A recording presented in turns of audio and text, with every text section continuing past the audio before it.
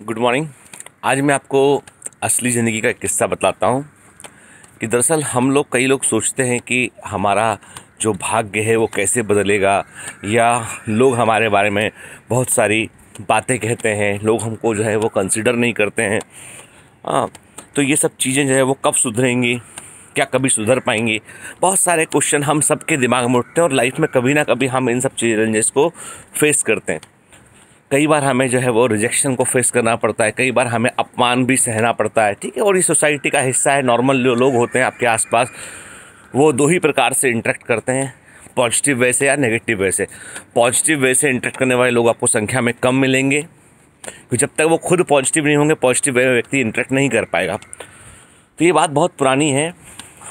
To thousand to की बात है, जब two thousand two two thousand three की बात है। ये बात है मेरी वाइफ की, भारती की, कि ये उस समय जब हम ये यूपीएससी की तैयारी कर रही थी, मैं भी तैयारी कर रहा था उस समय तो जो है, मैं चूँकि एम कर चुका था और हम लोग का का जो है वो इंटर कास्ट मैरिज है, दोनों का कास्ट अलग अलग था। लव मैरिज है, जिसको फाइनली हम लोगों ने फैमिली की सहमति से जो है वो किया। तो उस समय क्या हुआ था कि उस समय है ना चूँकि भारती उस समय सेलेक्ट नहीं हुई थी वो। वो तैयारी कर रही थी यूपीएससी की और हमने मैरिज किया। ठीक है? अब वो मैरिज के बाद जो है वो अपना उन्होंने मेरे साथ जब रही तो उन्होंने पढ़ा, अपनी तैयारी करती रही वो और फाइनली वो एक साल के अंदर ही वो सिलेक्ट हो गई उसमें। लेकिन उसके पहले एक घटना घटी। वो घटना ये थी कि हमारी एक रिलेटिव है, ठीक है? जो हमारी बड़े मतलब मम्मी के बड़े क्लोज रिलेटिव हैं वो फैमिली मेंबर ही हैं वो लोग। तो उनकी बेटी की शादी का कुछ होता है ना, जो बोलते हैं कि भाई लड़के वाले देखने आते हैं, है ना? तो फ़ंक्शन होता था माम के भाई लोग बाग आ रहे हैं, हमारे रिलेटिव भी आएँगे। और सगाई इंगेजमेंट टाइप सॉर्ट ऑफ़ होता है। रोका बोलते हैं इसको। वो सब कुछ होने वाला था। तो उन्होंने सबको इनवाइट किया उन्होंने। और मुझे भी उन्होंने फ़ोन किया। और कहा कि, मेरा घर का नाम गोल्डी है। गोल्डी, तुम आ जाना उस दिन तारीख को। है ना बहन की वो, ये होने वाला है फ़ंक्शन तो मैंने कहा हाँ हाँ मैं, हम और भारती आते हैं। बोलते, नहीं नहीं नहीं, मैं तुमको बोला मैंने स्पेशली कि तुम ही आना, भारती को मत लाना। तो मैंने पूछा, ऐसा क्यों? तो फिर बोले कि, नहीं यार, एक तो दो कारण है तो क्या है, वो दूसरी जाति से है और लव मैरिज भी है तुम्हारा, है ना?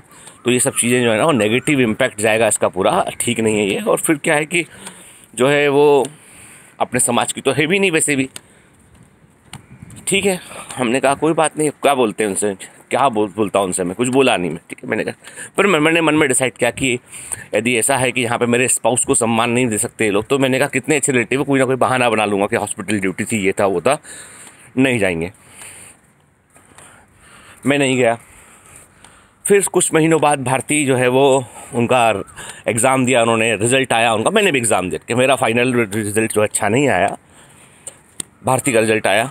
She got selected for Indian police services जो रैंक था उसके अकॉर्डिंग uh, उस समय वैकेंसीज काफ़ी कम थी उनके नंबर काफ़ी ऊपर थे लेकिन चूँकि यू यूपीएससी में क्या होता है आपकी रैंक के अकॉर्डिंग ही सर्विस एलोकेट होती है और जॉब चॉइस भरते हैं. तो उन्होंने अपना आई भरा देन आई भरा देन आई भरा. तो उनको उस समय जो है वो आई एस एलोकेट हुआ उनको. ठीक. सबको सारे रिलेटिव में सब में ये खबर हो गई कि भाई भारती का सिलेक्शन हो गया है और आईएएस के एग्ज़ाम में और वो अब एस पी बनेगी मतलब आई पी एस बनेगी। ठीक है? हालाँकि बाद में क्या हुआ कि बाद में मेडिकल होता है आईपीएस में बहुत टफ मेडिकल होता है। तो उसमें होता है कि भाई आपका चेस्ट एक्सपांशन सांस लेना, ठीक है? फ़िज़िकल फिटनेस तो भारतीय दुबली पतली थी काफ़ी उस समय। और जब फ़िज़िकल फिटनेस का एग्ज़ाम उनका हुआ तो उसमें जो है वो आ, कुछ माइनर से पैरामीटर में जो है वो रह गई वो तो फिर फाइनली उन्होंने जो है उनको I R S Indian revenue services उनको जो है वो एलोकेट हुआ। ठीक है? बहुत बड़ा सर्विस होता है मतलब इंडियन रेवेन्यू सर्विस जो जितने भी सर्विस आई के they all are big services मतलब इंडिया में उनसे बड़ा कोई जॉब नहीं होता है। फिर वक्त ऐसे बदला। अब भारती ज्वाइन कर ली उनकी पोस्टिंग भोपाल के अंदर हो गई है ना? और सिविकम असिस्टेंट कमिश्नर और भोपाल पोस्टिंग उनका हुआ। अब भोपाल में assistant commissioner is a very big thing.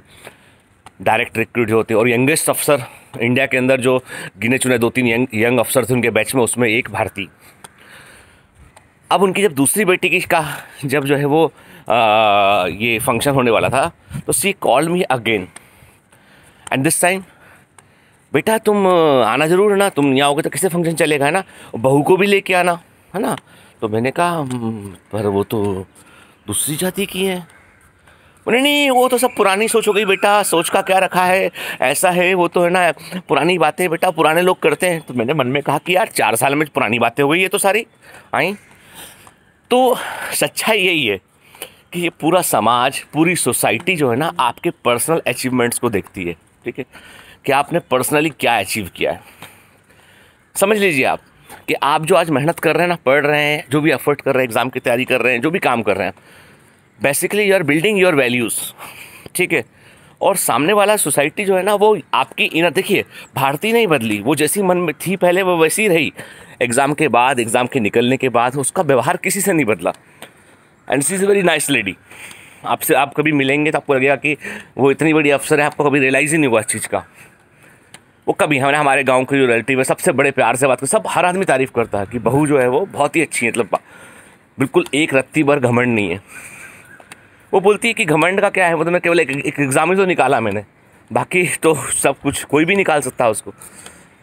तो बात इतनी सी बेटा कि हमेशा फोकस कीजिए अपना वक्त बदलने पे। यदि दूसरों की बातों पर उस समय ध्यान दिया होता ना तो आदमी डिप्रेस हो गया होता। तो आपको जो है वो हमेशा इस बात पे फोकस करना है कि आप अपनी इनर वैल्यूज़ को कैसे बढ़ा सकते हैं आप ठीक है ना? तो मैं यही बोलूँगा आपसे कि आज कोई कुछ भी बोलता हो कुछ भी मन में रखता हो उससे कोई फ़र्क नहीं पड़ता। कीप बिल्डिंग योर वैल्यू अपने अ, मान को बढ़ाते रहिए ठीक है ना? अपने सपने के पीछे दौड़ते रहिए जब तक कि वो हासिल ना हो जाए। All the best have a great date